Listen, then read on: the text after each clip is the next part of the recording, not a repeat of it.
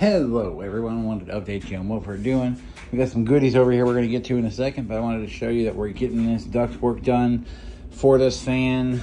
The internal uh, bearings for the internal shaft came in already, so we're going to get those taped up and snug, make sure everything fits nice. And uh, I use this really, really thin silver tape right here.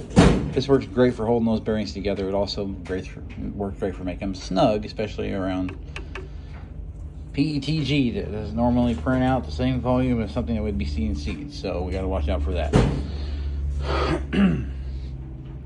so what we're going to do over here, obviously, is I got I still some epoxy resin.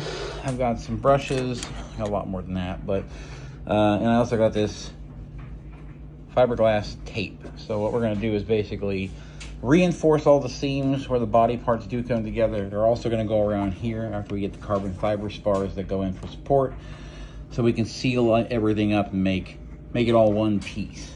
And then we're going to get it all epoxied up and it's going to look nice and clean. So anywhere I know I think I need a little bit of reinforcement, that's going to happen. Probably going to be on the inside more than the outside just so it looks a little bit cleaner out here. It'll have to be on the outside, obviously, but it will reinforce that joint even with that carbon fiber spar in there. So that is the plan going forward.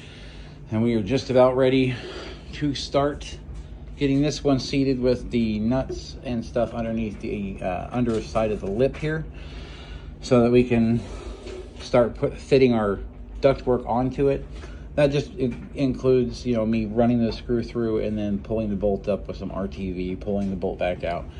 And it gets everything ready so I can set the, the shroud, the actual fan shroud, the, the ductwork over the top of the inner casing and get everything bolted together. Needed more of the uh, M416s because that's the ones we ended up using the most of, so that's what I ordered some extra of. And I have uh, all the nuts, washers, and compression compression washers that I need for the deal. So that'll work good, just like on the first fans assembly. So we are coming along. Printer's still going like a madman. A lot more to print, a lot more to do, but we are getting things kind of ready for assembly and reinforcement and wiring and getting the internals set up and the body put together. And it's just coming along great. And it's going to be a lot of fun. And I need a bigger table. So stay tuned for more.